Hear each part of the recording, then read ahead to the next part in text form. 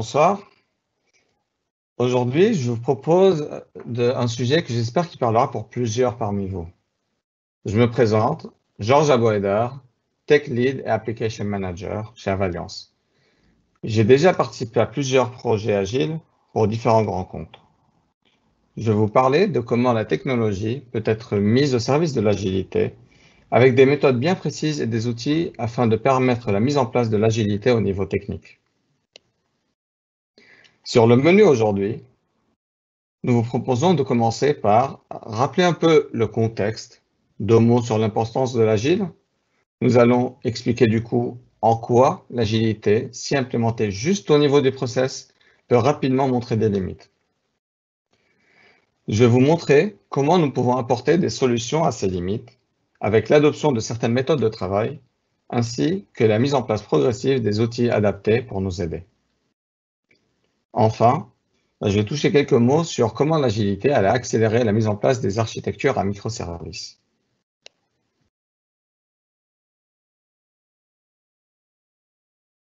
Pour ceux qui souhaitent un petit rappel de ce que c'est l'agilité, ben voilà comment on est arrivé là. Tout part du besoin de réduire à la fois le coût du changement et le time to market pour répondre à la dynamicité des marchés actuels.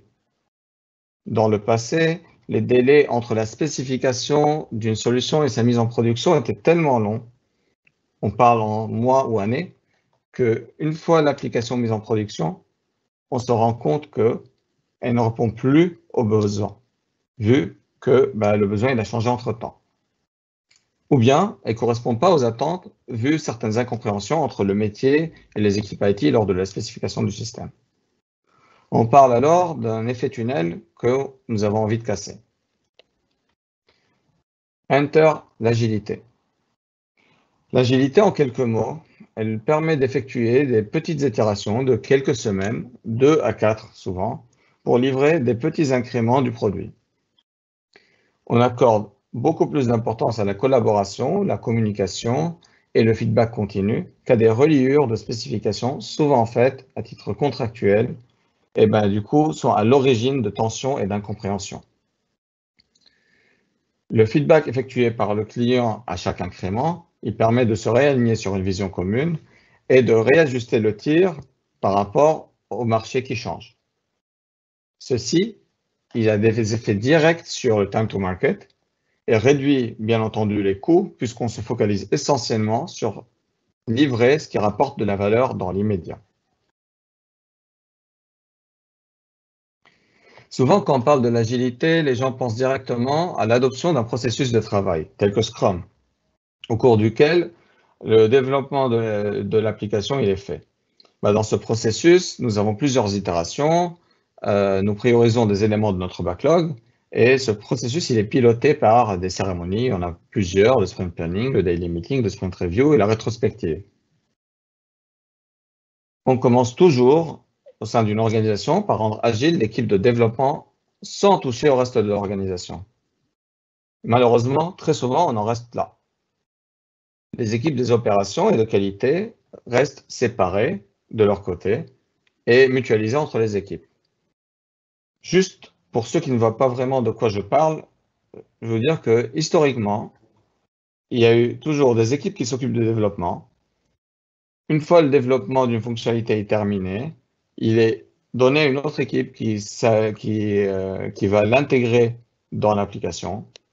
Puis vient l'équipe de, de qualité pour manuellement tester et valider vérifier qu'il n'y a aucune régression, que l'application correspond au changement attendu. Euh, enfin, quand assez de fonctionnalités sont, sont prêtes à être livrées, bah, et suivant un calendrier de livraison défini en avance, même en début d'année, celles-ci sont packagées et livré en production.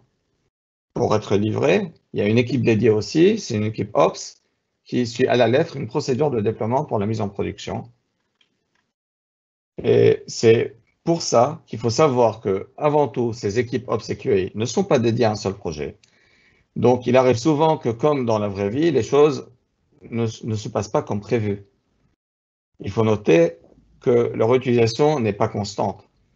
Ils ont des creux d'activité, surtout en début d'itération. Et à ce moment-là, on parle de ce qu'on appelle le déchet opérationnel, et puis des pics très importants en fin de cycle lorsque plusieurs applications veulent livrer en même temps. Bah, dans ce cas, le travail est livré s'empile de plus en plus chez ces équipes et la nature manuelle de leur travail n'a aucune valeur ajoutée en soi pour que ce soit fait par un être humain. Résultat, les délais entre le moment où une fonctionnalité est considérée terminée, donc voir la definition of done qu'on avait définie la dernière fois avec euh, jusqu'à sa livraison, bah, se rallonge de petit, à petit. Les régressions, elles, elles sont détectées très tardivement suite au développement, plusieurs semaines après. Et ben, du coup, c'est comme si on revient à faire, effectuer des mini-cycles en cascade. Or, l'agilité, c'est beaucoup plus que ça. OK, si on n'applique que dans le domaine du process, on peut rapidement être rattrapé par l'inertie de l'organisation de l'entreprise qui, elle, globalement, n'est pas agile. Pour cela, il faut aussi l'appliquer au niveau technique ainsi qu'au niveau du business. Vous pouvez me demander, mais en quoi consiste l'agilité technique? C'est ce dont on va parler pour les 20 prochaines minutes.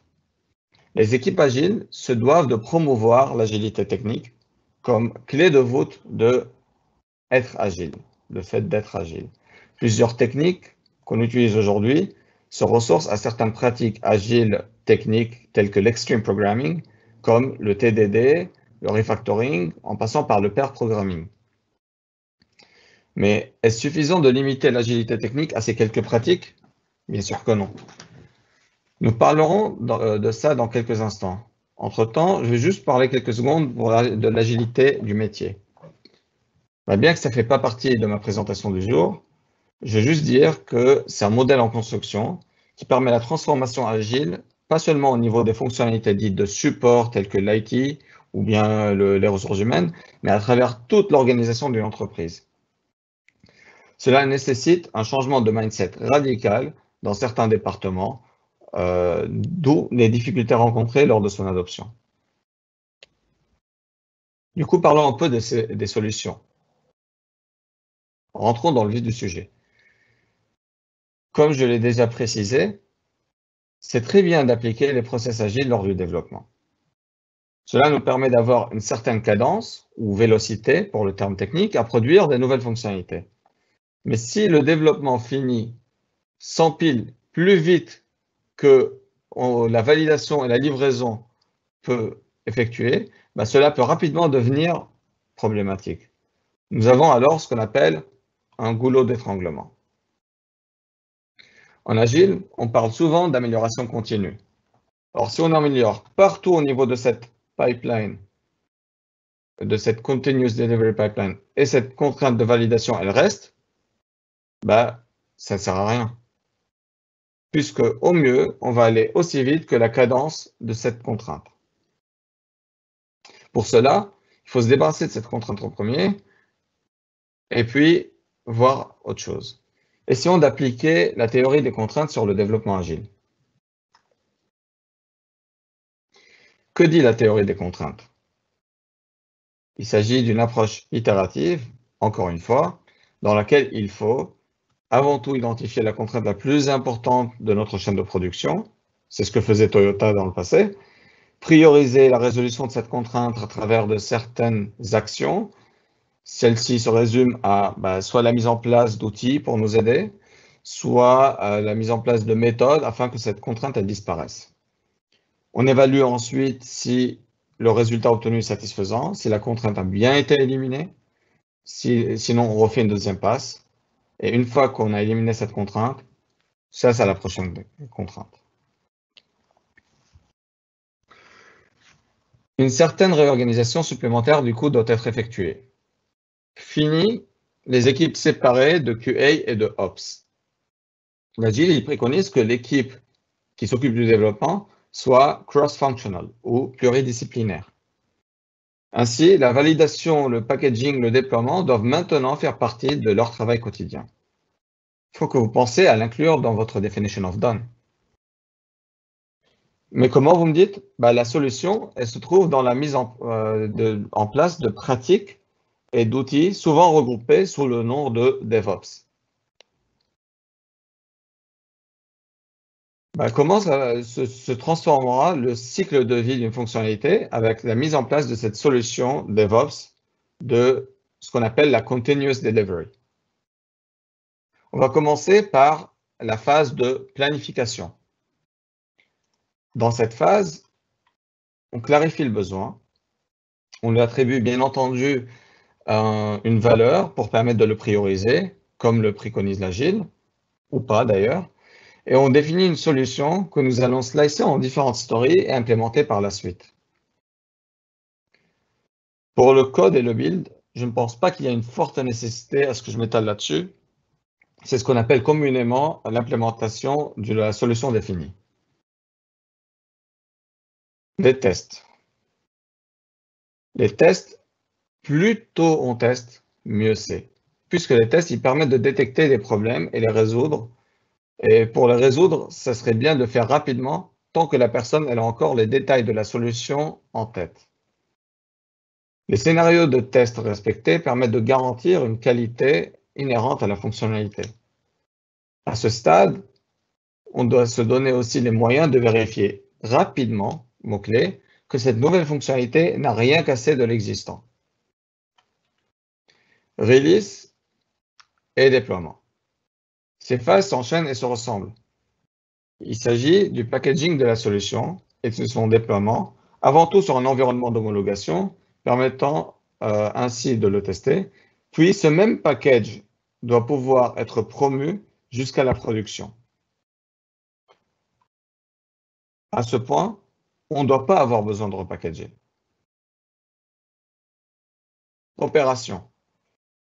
Bah, en opération, la fonctionnalité, elle, est déjà en prod, elle doit être utilisée et supportée.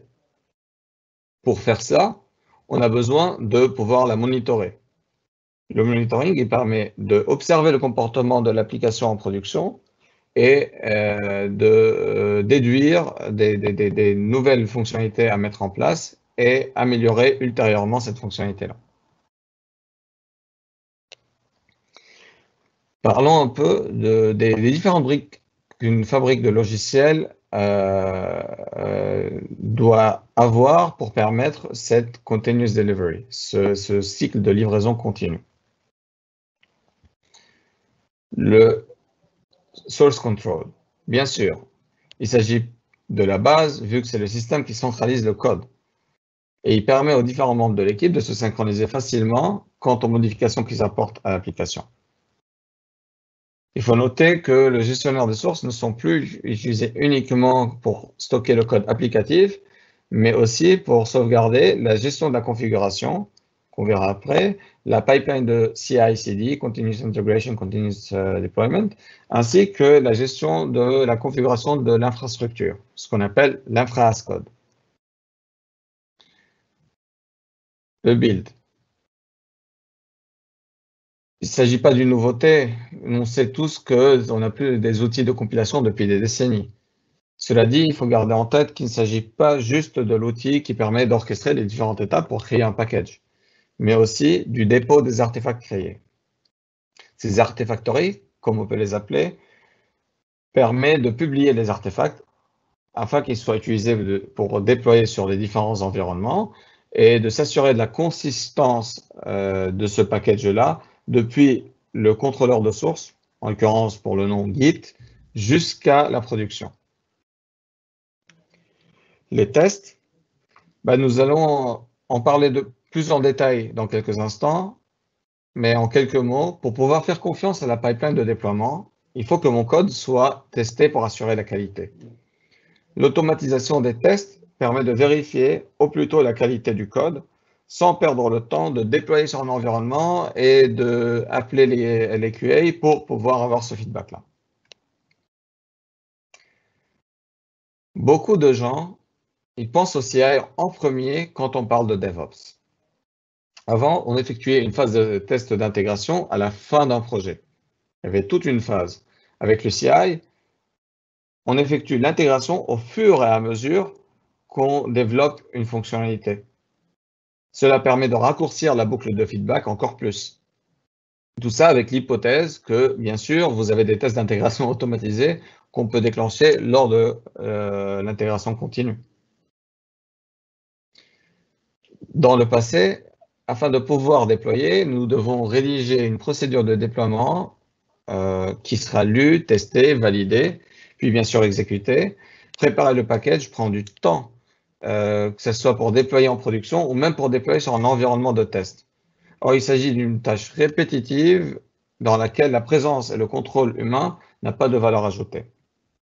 Le déploiement doit pouvoir être lancé par n'importe quelle personne sans connaissance extensive du contenu applicatif.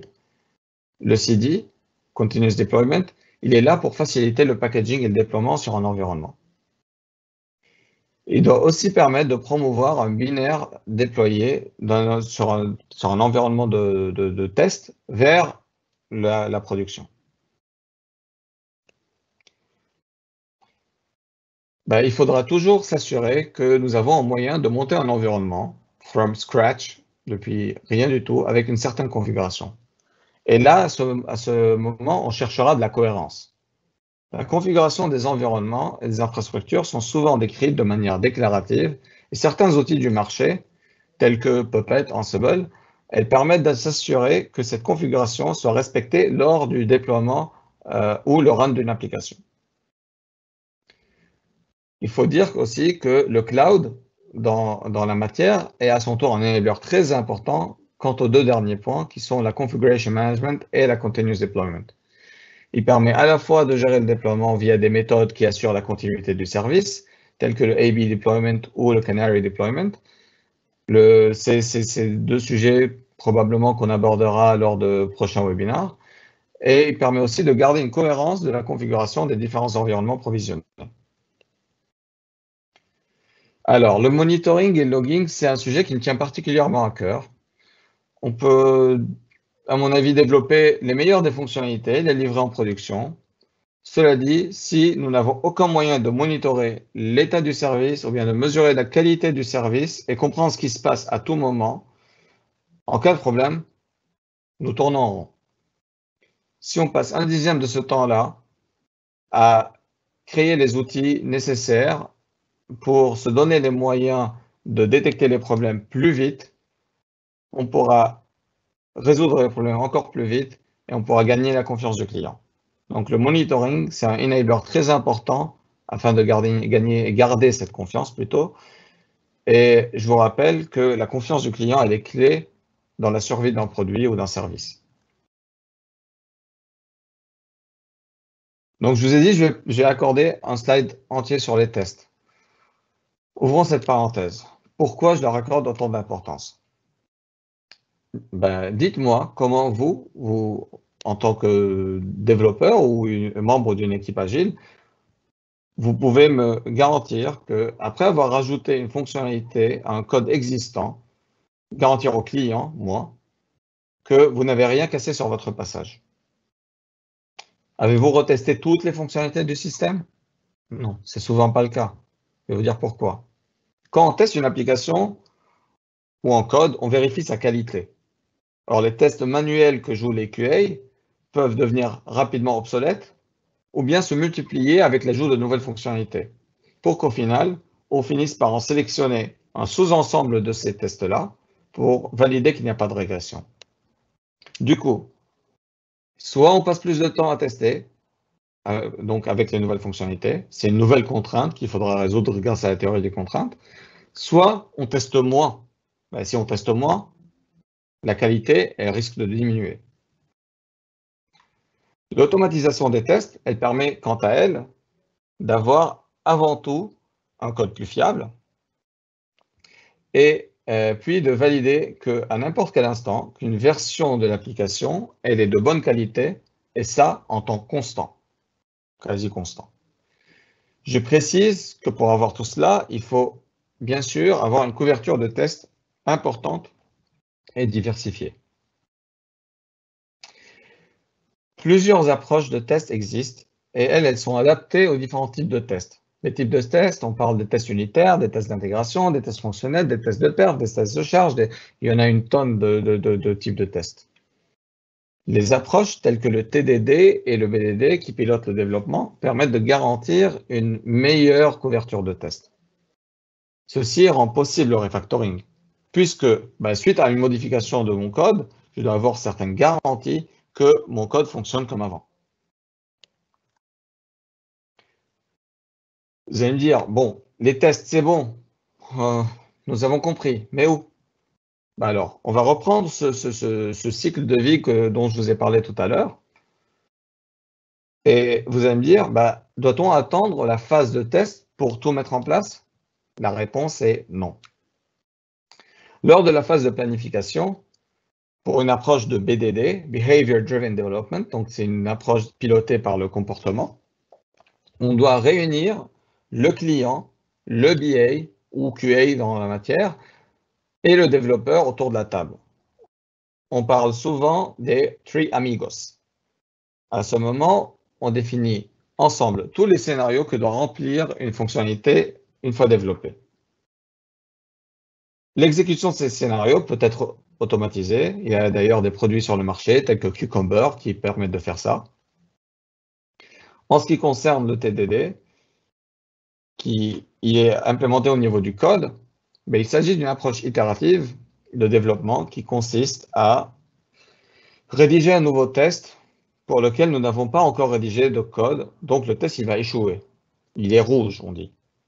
Puis, on écrit le nombre minimum de lignes de code, minimum et clé, pour passer au vert. C'est très important la notion de minimum. Pourquoi? Parce que on ne veut pas impacter la euh, couverture de test.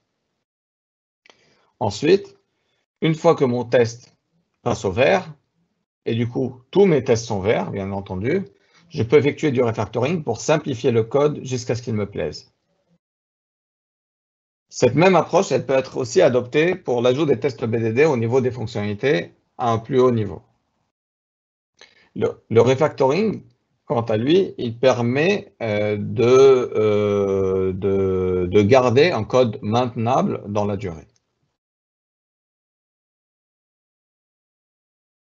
Alors, donc, on va parler un peu de l'impact de tout ça sur l'architecture de nos systèmes.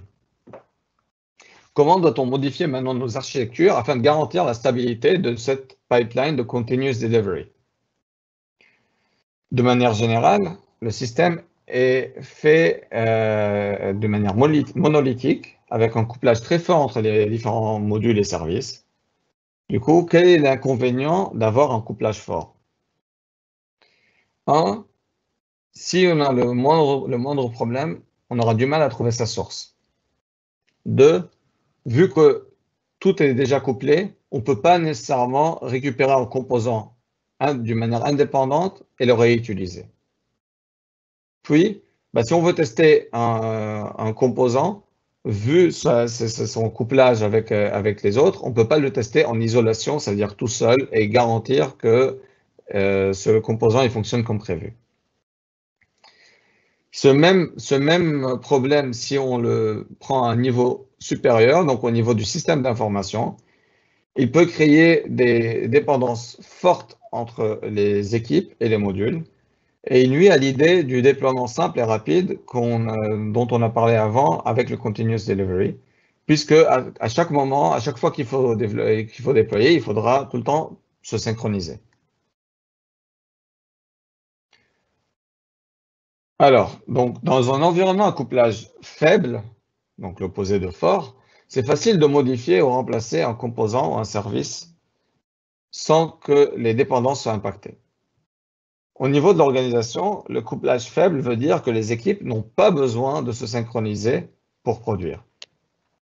On parle souvent d'ailleurs de ce qu'on appelle la loi de Conway inversée, puisque les entreprises doivent définir leur système d'information autour des périmètres de ces différentes équipes qu'elle a, afin que celles-ci puissent travailler de manière indépendante. Les approches architecturales permettent ceci en utilisant les euh, connus, très connus bounded context du domain driven design pour découpler en sous-domaines certaines euh, business chains. Avec tout ça, nous obtenons avant tout la définition claire des responsabilités de chaque microservice, puis le développement en indépendance dont on a parlé précédemment. On pourra tester, bien entendu, euh, en isolation sans avoir recours à un environnement d'intégration managé par les deux équipes en, parallèle. Le déploiement en continu, lui, il persiste et il est indépendant. Et un avantage, et non pas des moindres, c'est la scalabilité horizontale. C'est ce qui permet de gérer les ressources matérielles et infrastructures de manière optimisée afin de respecter la charge de travail. C'est ça, on peut faire grâce à des pratiques euh, telles que décrites par Faisal euh, dans un précédent webinaire et on verra dans d'autres webinaires, grâce à des pratiques comme le FinOps. Bien sûr, le microservice, c'est pas parfait. Ça présente aussi certains challenges. Mais ne vous inquiétez pas, on va dédier un webinaire entier à ce sujet.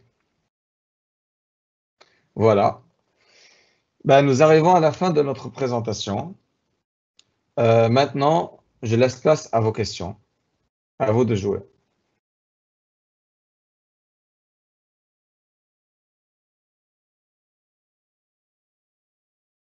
Alors, donnez-moi quelques instants que je regarde les s'il y a des questions.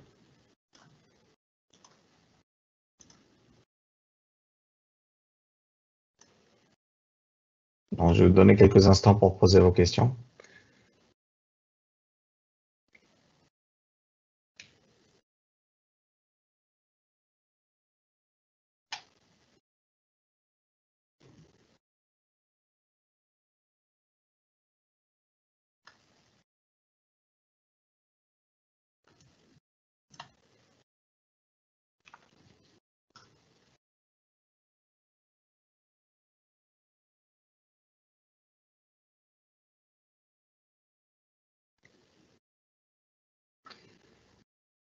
Alors, pour l'instant, je n'ai pas de questions. Soyez pas, soyez pas timide.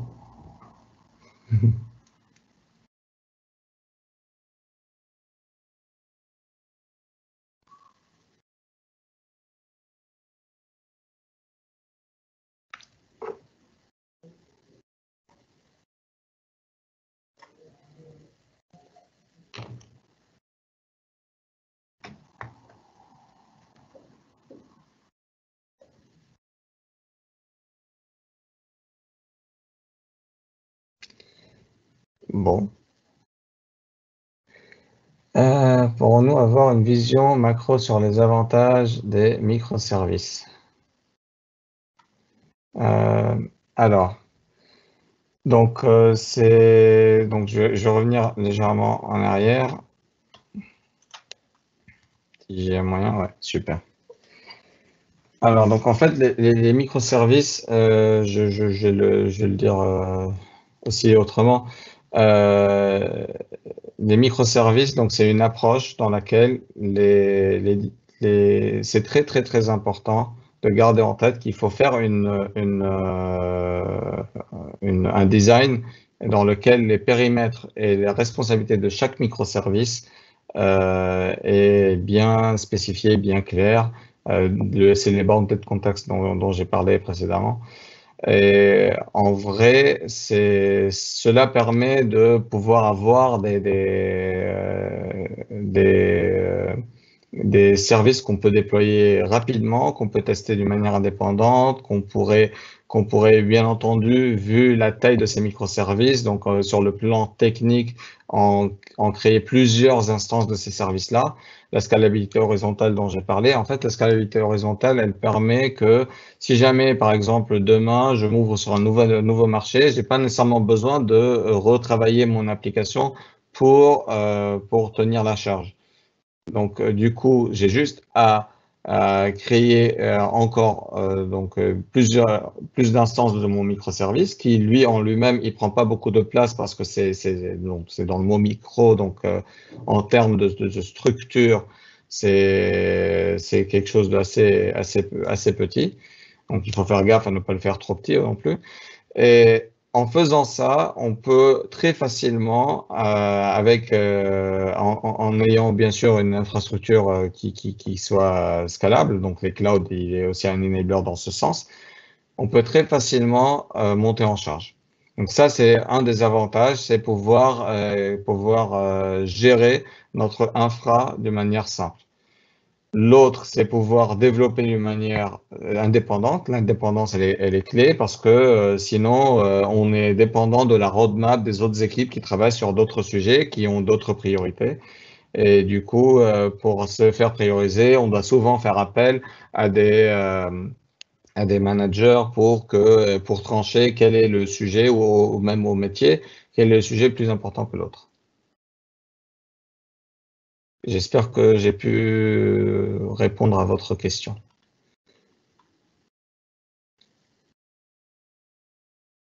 merci, merci pour, pour le remerciement. Ben, merci. Euh, d'autres questions? Peut-être sur le, le, DevOps ou le, les termes techniques?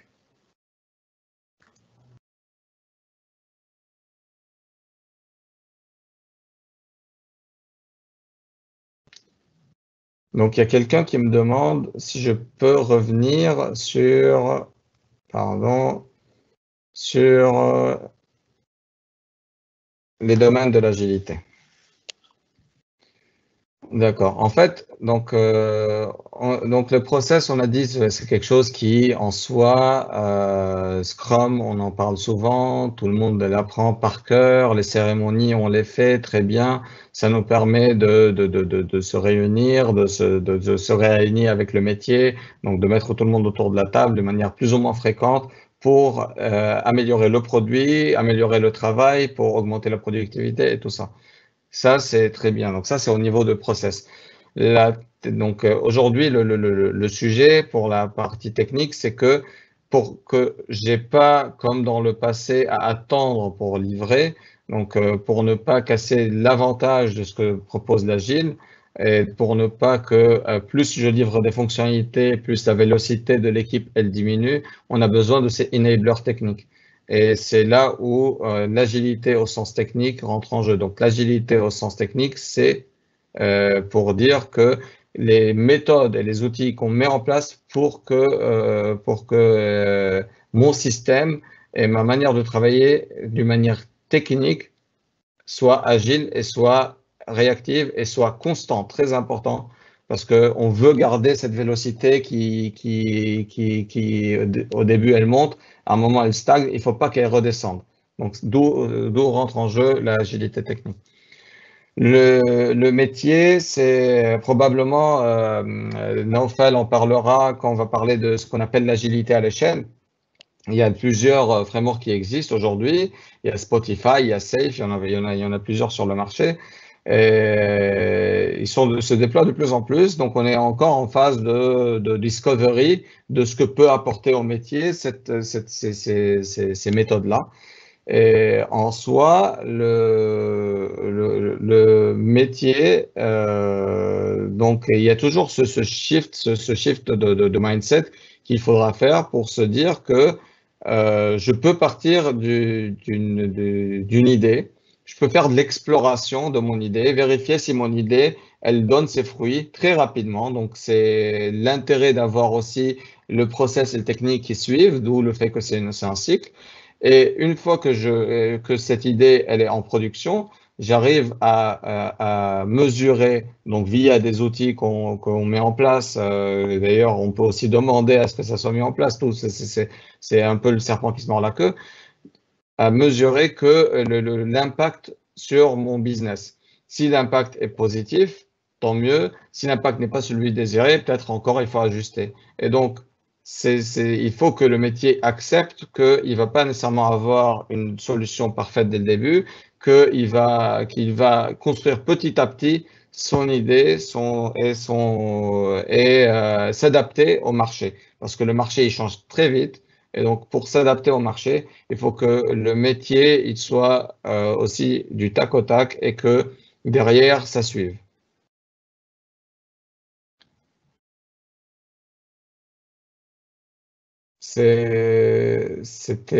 c'était ça pour en ce qui concerne les domaines, euh, les domaines de l'agilité. Donc, on parle euh, à un, haut niveau de ce qu'on peut avoir comme principe agile.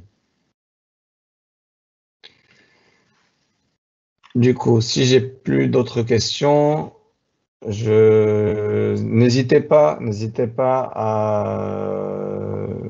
à, me contacter pour euh, vous répondre à vos questions si vous ne les avez pas nécessairement posées maintenant. Sera-t-il possible? Ah, pardon. Donc désolé, je viens de voir ta, question. Serait-il possible d'avoir un retour d'expérience sur euh, les difficultés rencontrées dans la mise en place du DevOps? Alors, donc en fait, le premier des problèmes qu'on peut rencontrer, c'est pas un problème technique, c'est plutôt un problème, euh, euh, organisationnel. Quand je parle d'un problème euh, organisationnel, je parle du fait que il faudra accepter que, afin de produire cette, désolé, je vais revenir sur le slide, afin de, produire euh, cette euh, plateforme, donc cette fabrique de logiciels, il faut travailler sur plusieurs facteurs et, et il faut que le management euh, puisse investir dessus. Donc, le retour sur investissement, il n'est pas immédiat, bien entendu. Il faudra améliorer petit à petit. Donc, trouver la prochaine contrainte et améliorer, tel que j'ai dit. Euh, et, du coup, ça, c'est pour moi la première des contraintes. C'est euh, convaincre le management, convaincre l'entreprise de l'importance du DevOps pour, euh, pour, que, pour garder une productivité constante. La deuxième contrainte qu'on peut trouver, c'est euh, euh, ce qu'on appelle le, ben, c'est le training. C'est le training de ces gens-là, des gens de l'équipe, sur certains outils pour leur mise en place. Donc, euh, quand on veut mettre en place, par exemple, du continuous integration, c'est connu qu'il y a des outils tels que Jenkins, tels que TeamCity, qui permettent, ou tels que Travis CI, qui, elles, elles permettent de faire l'intégration continue. Euh, sauf que bah, c'est aussi facile que ce soit, ça reste quand même qu'il faut monter en compétence sur ces produits-là pour les intégrer, par exemple. Après, euh, il y a aussi l'implémentation même de ces, produits. Donc, euh, on va potentiellement faire des erreurs, on va mesurer, donc on doit toujours mettre en place un moyen de monitorer des mesures, des KPI pour vérifier si le résultat euh, attendu, on l'a atteint. Si ce n'est pas le cas, il faudra revenir dessus, faire un deuxième passe pour arriver jusqu'au résultat. Et donc, pour le continuous deployment, c'est pour l'expérience personnelle, c'est un tout petit peu plus complexe la mise en place parce que euh, très souvent, j'ai remarqué que quand on met en place une, une du CD, euh, une fois que c'est déployé, euh, on vient, on dit ah bah, il manque ce fichier de configuration ou bien ah oui il manque cette librairie ou il manque X ou Y ou quelque chose du genre et ça fait qu'on revient dessus. C'est-à-dire le continuous deployment pour arriver jusqu'au bout, euh, il faudra vraiment faire plusieurs itérations parce que on part toujours d'un existant qu'on a toujours déployé à la main qu'on veut automatiser. Donc, tout ce qu'on est en train de citer là, euh, donc ce qu'on appelle le DevOps, c'est automatiser quelque chose qu'avant on faisait manuellement. OK? Donc, le, TDD et le BDD, oui, bien sûr, ça ne rentre pas dans le, cadre du DevOps. Le DevOps, c'est plutôt donner l'outil aux développeurs pour qu'ils puissent faire euh, tout ça. Mais euh, donc, entre les, tests et le DevOps, on est supposé avoir une fabrique de logiciels euh, permettant d'avoir de, une, livraison continue. Et pour euh, en finir, donc le monitoring, je vous ai dit en fait que le monitoring pour moi c'est un sujet euh, qui, qui particulièrement, il me touche un peu parce que hum, j'ai souvent, je pense que les développeurs qui sont présents euh, parmi nous, ils ont souvent remarqué que quand ils arrivent sur une application déjà en production, que les, les, les, logs de, l'application, elles ont du mal à nous donner du insight sur ce qui se passe vraiment dans l'application. Et en, vrai, il faut toujours penser au monitoring et au log de manière à ce que, pas juste pour débloquer les problèmes de production, mais aussi à mettre en place des KPI, des mesures pour permettre de euh, améliorer le service. C'est-à-dire que après, si jamais on a mis en place des mesures de performance, par exemple, pour euh, le chargement d'une page web, disons, il faudra, euh, si jamais on, on, regarde par exemple sur les six derniers mois, on a dû faire des livraisons toutes les deux semaines, on se rend compte qu'il y a une baisse de performance du chargement de la page. Et probablement, via cette observation, on va, on va demander à ce qu'on priorise un sujet d'amélioration de ces perfs-là. Alors, si on n'a pas ces KPI, là, pour arriver à, à, à améliorer, il faut vraiment avoir de l'intuition. Et l'intuition, euh, dans le monde professionnel, c'est pas ce qui nécessairement euh, on a envie de compter dessus.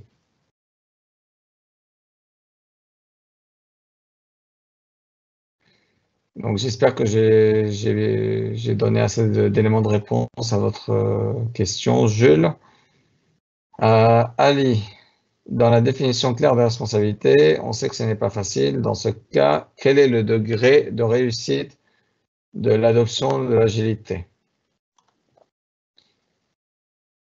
Alors, bah, j'ai envie de dire, tout dépend du contexte. Euh, donc, si on parle de la responsabilité des, des équipes euh, donc, ce que j'ai dit donc sur la loi de Conway inversée, c'est que euh, on doit architecturer le système pour que les, les, les, les, périmètres des équipes soient respectés.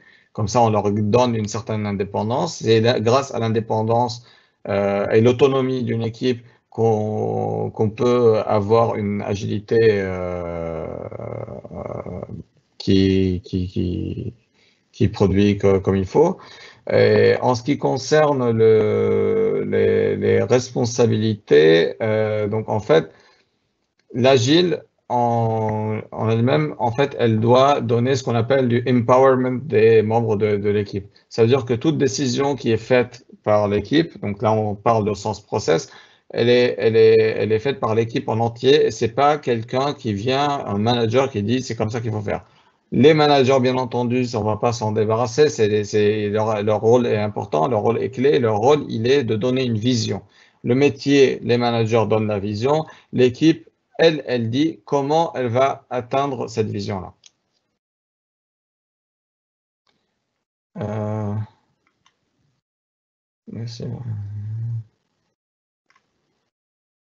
C'est bon, je pense que j'ai plus de questions. Comment rendre agile une application qui ne l'est pas? Ah. Alors, comment rendre agile une application qui ne l'est pas? Ben, Donc, en soi, euh, c'est quelque chose que perso, je rencontre au quotidien. Euh, les applications, comme on dit, euh, elles sont de base monolithiques et euh, on arrive un jour, on dit voilà, on veut devenir agile. Oui, mais l'application elle est monolithique. L'application elle est monolithique, ça veut dire qu'à chaque livraison, je vais passer une semaine, voire deux semaines, voire parfois plus pour faire les, les, tests de non-régression, pour packager, pour livrer tout ça, pour la rendre agile. Donc, il faut que ces enablers techniques soient mis en place progressivement et ça, ça dépend du projet. Ça veut dire que je suis sur un projet dans lequel euh, j'ai euh, euh, besoin, en fait, je remarque, donc je suis en train d'observer que j'ai un goulot d'étranglement au niveau de, par exemple, de la préparation du package et du déploiement. Et d'ailleurs, c'est même pas sûr parce qu'au final, une fois que j'ai déployé, j'ai souvent des problèmes en production. Et donc, du coup, ce, sur quoi je dois travailler, ça serait le continuous deployment, ça veut dire une manière de pouvoir déployer facilement, rapidement. je remarque très souvent que euh, que, à chaque fois que je développe, j'ai des régressions sur des fonctionnalités existantes. Je dois améliorer les tests. Donc, je dois travailler sur l'automatisation de ces tests, que ce soit avant tout, bien sûr, les tests fonctionnels, très importants, mais euh, pour pouvoir euh, euh, aussi garantir une performance, des tests de performance. Je peux aussi remarquer que, euh, par exemple, dans, le cadre de mon projet, euh, j'ai un problème au niveau de, la complexité. C'est-à-dire que moi, par exemple, je travaille sur une application actuellement où à chaque fois qu'on veut effectuer, à chaque fois qu'on veut effectuer un BDD, c'est la croix et la bannière. C'est vraiment très compliqué pour, pour les, mettre en place parce que le système est très complexe et euh, il y a un couplage très fort entre les composants, ce qui fait qu'on doit faire beaucoup de configurations pour mettre en place le BDD d'une fonctionnalité. Et donc, à ce moment-là, il faut, un, avant tout, augmenter déjà la couverture de tests euh, unitaires, donc des tests TDD. Et puis, ben, on va essayer de, euh, dire, euh, voilà, euh, maintenant que j'ai une couverture de tests assez importante, je fais du refactoring. Le refactoring, il est fait quand? Il est fait pour que, à la source, j'ai un code qui est non maintenable, illisible, incompréhensible, mais que j'ai essayé de, j'ai une couverture de test pour le couvrir. Et à la, enfin, une fois que j'ai refactoré, je refactore vers des bonnes pratiques. Ça veut dire que je fais des, des je, je, je, reproduis des, des design patterns, on appelle comme ça, des patrons de conception qui euh, sont connus, qu'on pourra euh, maintenir facilement, qu'on pourra aussi euh, comprendre très facilement parce que c'est quelque chose de répandu sur le marché. Et une fois que j'ai ça, bah, c'est à ce moment-là que je pourrais améliorer mon intégration continue.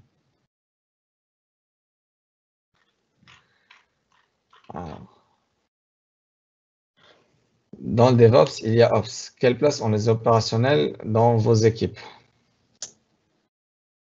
Alors, donc, euh, c'est vrai que euh, Anas, euh, Ouais, pardon. C'est vrai que les opéra le, il y a Ops dans le mot opérationnel, euh, Ops dans DevOps, et les opérationnels, en fait, le, le, leur rôle euh, doit euh, être avant tout de, donc il doit arriver au niveau de de ce sous-cycle, de ce sous-cycle en, violet là, qui correspond à nos belles couleurs à Valence. Et euh, c'est pouvoir opérer, donc il faut qu'on leur donne les outils pour qu'ils puissent avoir une opération fluide, pour qu'ils puissent, comme j'ai dit tout à l'heure, retrouver les, insights nécessaires sur les problèmes euh, qu'il y a en production rapidement, euh, pour pouvoir rétablir le service en cas d'incident majeur. Mais il faut aussi que leur rôle est aussi très important en ce qui concerne le monitoring parce que euh, euh, les, les, systèmes de monitoring mis en place peuvent ne pas nécessairement avoir d'alerte sur un certain sur un certain aspect de mon application et que ces, ces, ces outils de monitoring en place en production leur permettent de détecter des anomalies. Donc, ils détectent les anomalies, ils les, ils les, les remontent rapidement aux, équipes euh, de développement pour euh, traiter le problème si jamais euh, il faut faire un développement ou bien même si, pour dire que non, non, c'est normal, il n'y a pas de problème. À combien estimez-vous la maturité de votre client en termes d'adoption de l'agilité? 50, 60% Alors, est-ce que est-ce une question de temps ou d'état d'esprit? Alors, euh, donc, euh, l'agilité technique, c'est euh, surtout une question de temps parce qu'il faut de la CAPEX pour mettre en place tous les outils et les méthodes dont on a parlé. Il faut beaucoup de temps parce qu'on n'est pas payé pour faire que ça. L'agilité au sens large et son adoption, donc euh, si on parle de tous les domaines, non, non, c'est bien un état d'esprit, c'est bien un mindset. Il faut accepter que euh, qu'on est en collaboration. Il faut pas euh, rester à l'ancienne, à mettre en place un comment on appelle ça, un, contrat entre deux personnes comme si on était client et fournisseur. on travaille tous ensemble pour un bien commun. Donc, euh, c'est un peu toujours un peu compliqué, surtout si le métier considère que l'IT, c'est pour faire du support, alors que l'IT peut aussi être, et un, un, un, bel article fait par euh, Martin Fowler sur ça, c'est quelqu'un de très reconnu dans l'agile, qui parle de IT utilité ou enabler. Donc, je vous conseille d'aller chercher cet article-là. Peut-être que je le, posterai après sur la page de LinkedIn. Comme ça, ça vous donnera de la lecture, Thomas. Euh, mais c'est vrai que c'est surtout, et je pense que c'est ce que vous insinuez, c'est avant tout un état d'esprit. Voilà. Donc, euh, j'espère que j'ai pas oublié de, questions parce que sont venus un peu dans un ordre un peu spécial.